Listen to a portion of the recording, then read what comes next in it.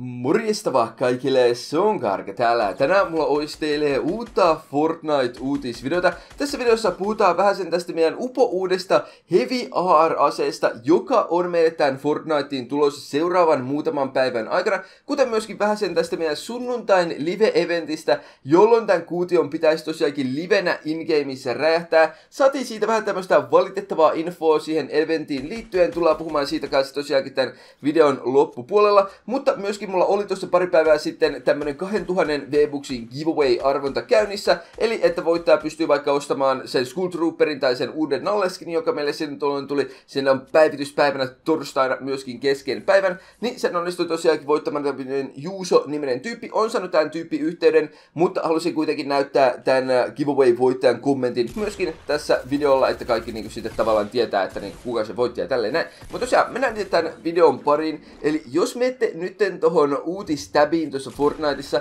niin siinä näkyy, että meille on tulossa upo uusi Heavy AR-ase tähän peliin nytten lähiaikoina. Tämä näyttää todella todella paljon tuolta AK-47. Mä kuitin myöskin katsoa vähän sen netistä näitä statseja, että mi- kuinka paljon tämä tekisi damakea ja kaikkea tämmöistä, koska välillä kun me ollaan saatu näitä aseita, niin me ollaan tiedetty enemmän tai vähemmän niin ne tarkat statsit myöskin, kuinka paljon se ase tulee tekemään damakea, kuinka nopeasti se ampuu, kaikkea tämmöistä näin muuta vastaavaa ennen kuin se ase tavallaan niin kuin virallisesti tähän Battle Royaliin on tullut. Tällä kertaa meillä ei ole noita statsia, mitä meille on tulossa tavallaan niin kuin tuon Heavy ARn mukana sitten, kun tämä tähän peliin lisätään. Mä veikkaan, että tämä ase tulee vasta ensi keskiviikkona. Yleisesti ottaen nämä päivitykset on aina keskiviikkoisin tullut. Mä tiedän, että tuo edellinen päivitys tällä viikolla tuli torstaina, mutta senkin kanssa piti tulla keskiviikkona. Ja ne itse asiassa sanokin, että niin kuin, okei, se on tulos keskiviikkona, mutta sitten niille tuli joku tämmöinen viime hetken ongelma kuitenkin siihen päivitykseen liittyen. Mutta mitä mä halusin kysyä teiltä on, että veikkaatteko te, että tämä uusi Heavy AR-ase saattaisi olla uusi tämmönen skari mahdollisesti tähän peliin? Mä en sano, että ne on mitään tätä skaria poistamassa lähiaikoina, koska varmasti ihan sairaan monet tyypit niin ei hirveästi tykkää siitä, varmaan pahastuisi aika paljon,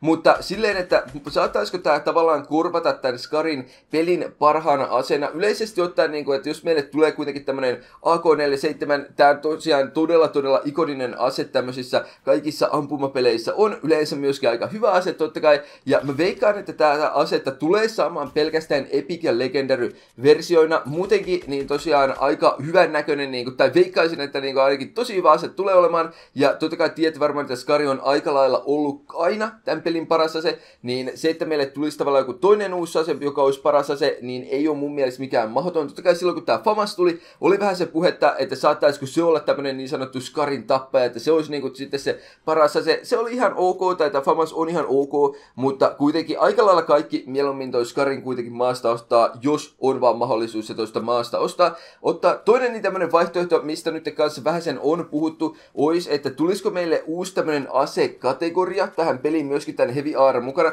Tämä on pelkästään niinku puhdasta spekulaatiota, mutta esimerkiksi justiin tuossa meidän upoudessa Call of Dutyssä, aika monessa Call of Dutyssä, monessa muussakin tämmöisessä ampumapelissä, meillä on nykyään tämmöisten aarien ja snipu lipujen välillä tämmönen vähän niinku justiinsa heavy aara-tyylinen niin asekategoria, eli jotain niinku aaria, jotka ampuu vähän sen hitaampaa, niin se voi olla enemmän just tuota rekoilia, mutta sitten ne tekee paljon paljon enemmän tuota damagea, eli esimerkiksi jotain niinku vaikka nykyään kun tämä Skari tekee 36 damagea, niin että tämä tavallaan niinku hypoteettisesti voisi tehdä jotain niinku 45 damagea, mutta sitten se ampuu paljon paljon hitaampaa. Pistäkää myös näin kommentein, mitä veikkaatte, että tuleeko tämä olemaan ihan sairaan hyvä ase, tuleeko tämä olemaan semmonen vähän sen niinku ihan ok, mutta kuitenkin, että toi Skari sitten vielä pelin paras ase. Ois, ois ihan jännä nähdä, että mitä mieltä olette. Sitten totta kai, kun tää ase tulee, niin tuukaa sitten käyttämään tätä näin. Varmaan tuun tekemään ehkä tästä asiasta myöskin jonkun tämmöisen videon. Vähintäänkin sanoin jossain videossa nämä aseiden statsit, että mitä kaikkea, niinku, tai, tai kuinka hyvä niinku tää ase on niinku, silleen noiden statsien perusteella sitten, kun me saadaan tietää.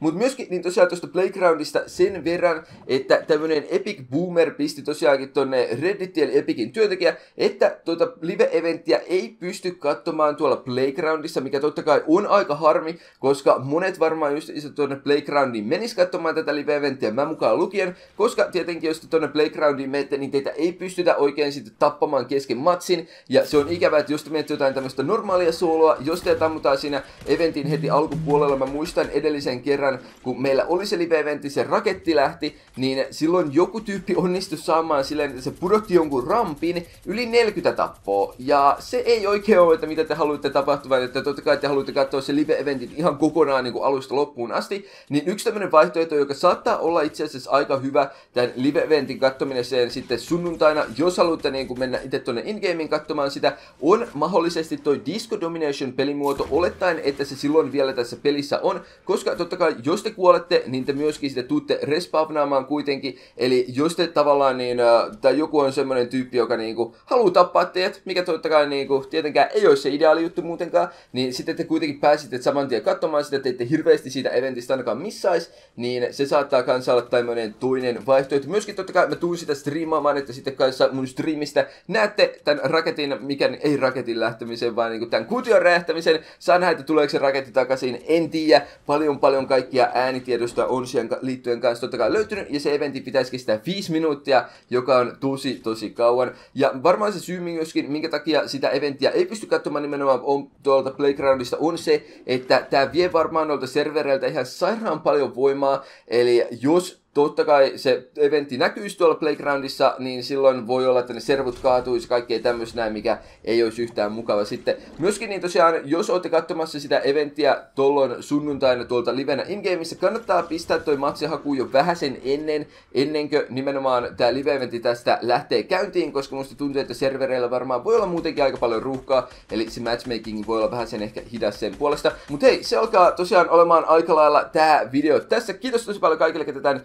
videon katto. Totta kai ihmeessä pistäkää tykkäys tälle videolle, jos ette vielä ole pistänyt. Tilakkaa tää kanava, pistäkää ilmoituksen päälle, arvostaisin. Mutta se oli siinä. Kiitos tosi paljon katsoitte ja näkyy ensi kerralla. Moikka!